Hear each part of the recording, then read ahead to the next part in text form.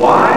Because time is of the essence for an actor. We have to uh, we have to worry about other things. So the director watches everything ahead of time, and then uh, they, uh, they they tell you what's going on in the show.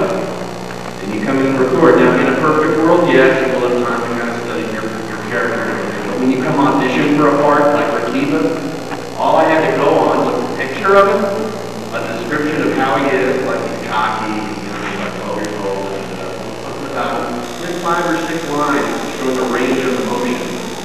That's all you have to go on when you, when you audition. And then you get the part, then you see how that fits into the frame of the whole story and the whole context.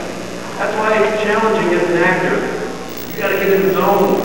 You gotta kind of get attuned into that character. You gotta get into that mindset. As soon as you get in that mood, put your headphones on, you got the music channel, your script, you got the monitor, and in your headphones you're hearing the director's cue from outside in another room.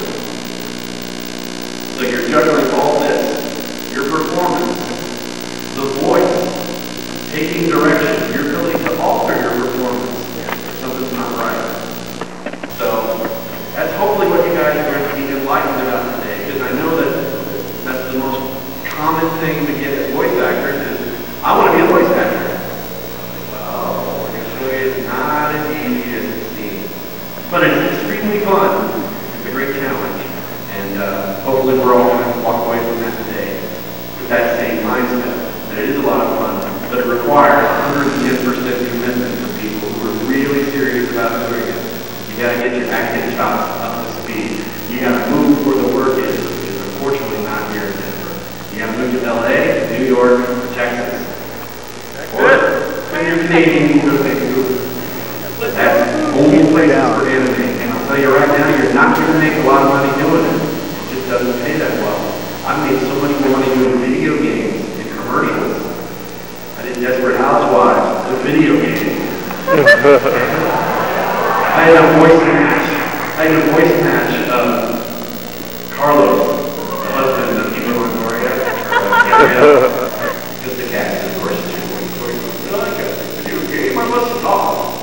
You know, they had actors come in and voice match all the parts. I made like two thousand dollars from that. For eight hours worth. Hey, Now, this is not laying pipe digging trenches, this is standing in a or sitting. I prefer to stand, gives you a better energy level. You're going to be standing here today, obviously, so keep your energy up. Don't too conscious about how your voice sounds if you're shy or anything. Is all about having fun. I've queued up a first clip here, which is, uh, I, I realize these clips kind of sound pornographic. I call them like boy solo, girl, girl, boy, boy. That's just to tell you how many characters are in the scene, or some sort of visual cue. And I'll give you a choice here. I've got two versions of the clip. And uh, basically, you'll have a choice to watch either the stand-up version first, so you get an idea of how the line actually fits. We don't get that luxury in a professional setting. We preview the line in Japanese. Right. We listen to the Japanese right before we do our take, so we can hear the context, the emotional sound of it, and all that. And uh, some people ask, like, do you specifically try to match the Japanese voice? No. You.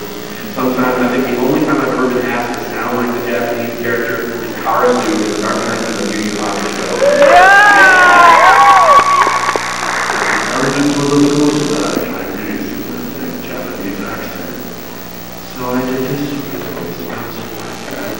I did that. and then, um, but other times, I mean, it's the producer's call, the director's call. It's like, okay, we're going to make it sound this way. When I auditioned for Kiba, I had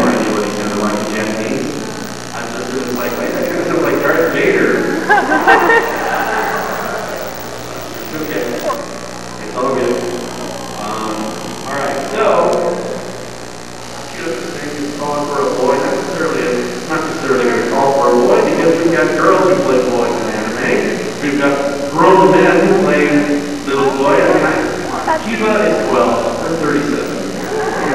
Go do the math. That's why we're voice actors. That's why we never look at how we sound. So I thought, I pictured someone quite different. You're not much giver and organ with, ooh, and not. Great. Think about how hard you have as an on-screen actor. The, constant pressure of looking perfect and pretty all the time, having to change your wardrobe in your car to race across town and get the